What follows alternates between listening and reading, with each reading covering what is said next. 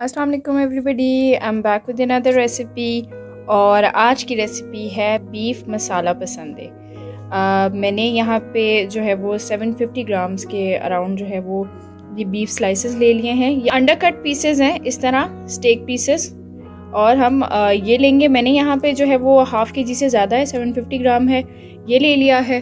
और उसके अलावा यहाँ पे है मेरे पास uh, ये पेस्ट है इसमें मैंने दो अनियंस मीडियम साइज़ पाँच ग्रीन चिलीज और वन टेबल स्पून क्यूमिन यानी ज़ीरा मैंने लिया है ठीक है? उसको मैंने ऑयल में थोड़ा सा जो है वो सौते कर लिया था। लाइट सा ब्राउन होने दिया बहुत डार्क नहीं और उसको मैंने पेस्ट बना लिया अब इसके अलावा हमारे पास है यहाँ दो टीस्पून रेड चिलीज बिल्कुल मैंने इस इस टीस्पून की यहाँ नौच पे जो है वो मैंने uh, हल्दी ले ली थी।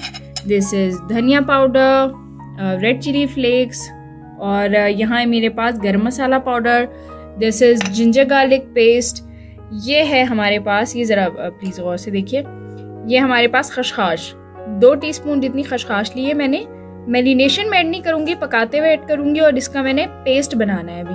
मैं इसे ग्रिंड करूँगी, मैं खशखाश को इस फॉर्म में यूज़ नहीं करूँगी, वरना वो दाने नज़र आएँगे। और यहाँ है योगर्ट योगर्ट मेरीनेशन में सिर्फ़ दो टी, दो टेबल स्पून जितनी जाएगी और बाकी हम कुकिंग में ऐड करेंगे। तो let's just start marinating all the things अच्छा जी, अब ऐड करते हैं सारे मसाले।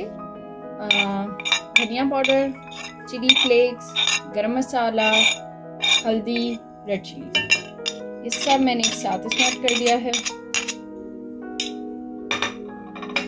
अभी जो मैंने अनियन ग्रीन चिलीज और क्यूमन का पेस्ट बनाया था, मैं इसे ऐड कर रही हूँ।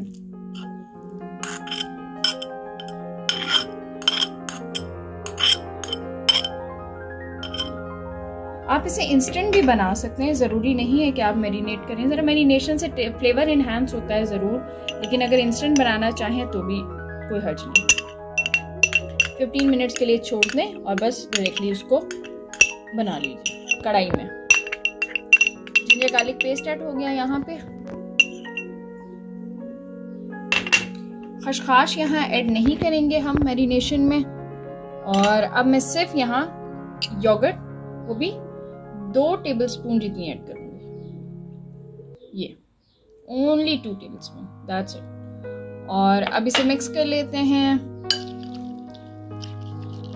I am going to use my hands now guys make sure to wash your hands first I already done mine अब मैं हाथों से इसे ज़रा मिक्स कर दूँगी तो ये हो गया है बहुत अच्छे से मैरिनेट यहाँ पे।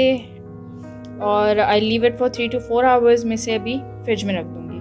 अच्छा rest of the ingredients are यहाँ एक और मीडियम साइज़ अनियन का मैंने पेस्ट लिया है योगर्ट जो मैं पहले भी दिखा चुकी थी और खशखाश जिसका हमने पेस्ट बनाना है। बस यही टोटल इंग्रेडिएंट्स हैं जो कुकिंग में यूज़ होंगे। So I am going to leave it now और uh, फिर देखते हैं नेक्स्ट स्टेप जी तो इट्स वेरी वेल मैरिनेटेड और फोर uh, आवर्स के बाद मैं इसे फ्रिज से निकाल के लेकर आई हूँ। इट लुक्स रियली नाइस और वो जो अनियंस इसमें डाले थे ना उसकी फ्रेग्रेंस उस मसाले की इतनी प्यारी आ रही है। हम श्योर पकने के बाद और फ्लेवर इनहेंस होगा। तो बस स्टार्ट करते हैं स्टोव ऑन करते हैं। तो फ्लेम हो चुका है ऑन और ऑयल में वही वाला यूज़ कर रही हूँ जिसमें मैंने प्याज और ज़ीरा जो है वो रोस्ट किया था। अब यहाँ मैंने ऐड कर दी है प्याज। ये सिर्फ़ एक मीडियम साइज़ अनियन है। मैंने इसे ग्रिंड कर लिया था। प्याज को इसमें सौते करेंगे, थोड़ा सा लाइट सा ब्राउन होने देंगे। इसमें मैं ऐड करूँगी सॉल्ट और फिर ऐड करेंगे बीफ जी, अब मैं ये ऐड कर रही हूँ इसमें सॉल्ट थोड़ा सा मिक्स करेंगे और अब जल्दी से ऐड करेंगे अपना बीफ तो इस तरह से अब हम इसमें बीफ ऐड कर रहे हैं. सारे स्लाइसेस वन बाय वन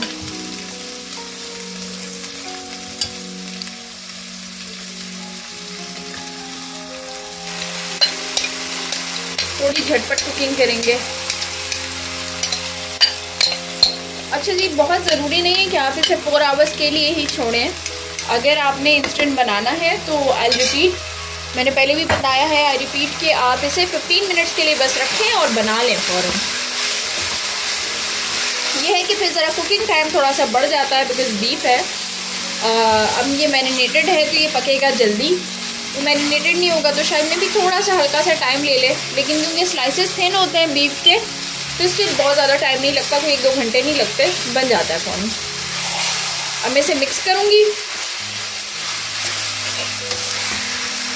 देखिए, मैंने सिर्फ़ सॉल्ट ऐड किया। स्पाइस वही है जो मैंने मैरिनेशन में वन टाइम ऐड कर दी थी।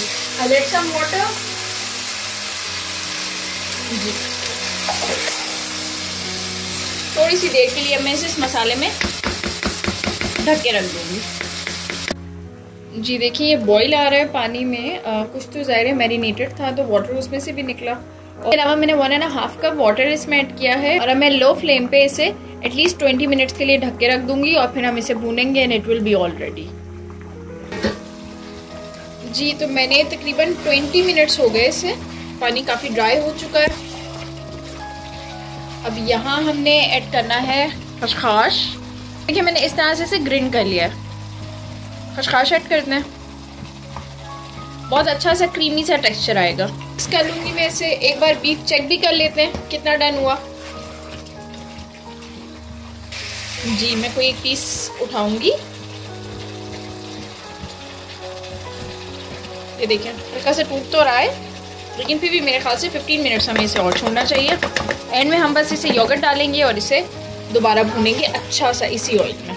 तो मैं अब इसे दोबारा कवर कर रही हूँ फॉर नेक्स्ट 15 मिनट्स कर रही हूँ यहाँ पे हाफ़ कप वाटर दोबारा से।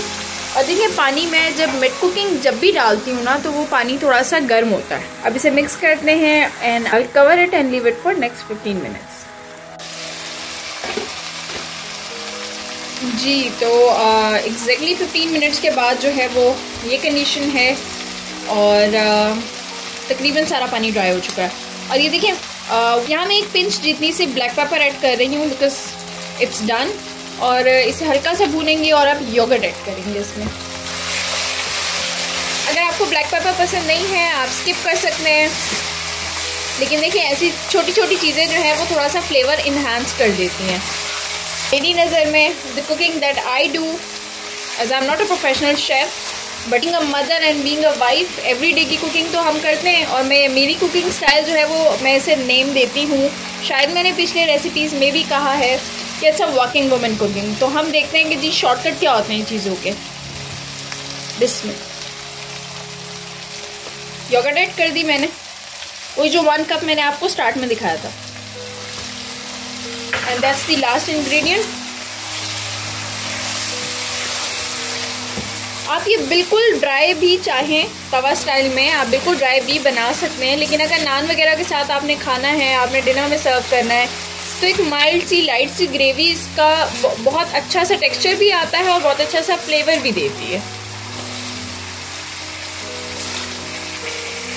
फाइव मिनट्स के लिए मैं यहाँ इसे भूनूँगी। लास्ट एक मिनट के लिए इसे कवर करूँगी और फिर हम इसे गार्निश करेंगे। भूनेंगे कि इसका ऑयल सेपरेट हो गया ऑयल हो गया है सेपरेट बहुत अच्छा सा भुना गया है। थोड़ा सा हम धनिया ऐड कर देंगे। मिनिमम सा मैंने धनिया इसमें डाला है, बाकी थोड़ा सा मैं गार्निशिंग में यूज़ करूँगी। तो जी, pasande are done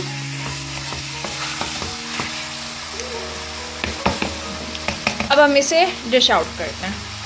Comes the final look, guys. I hope आप लोगों को आज की रेसिपी पसंद आई होगी। Beef pasandas are ready to have मैंने इसे सर्व किया है विद नान एंड सैलड और please don't forget to like this video share to your friends and family members don't forget to subscribe to this channel take care of yourself and your family members I come back with another easy recipe must try it and tell me in your comments कि आपको कैसा लगा। फिर मिलते हैं इन take care अल्लाह हाफिज़.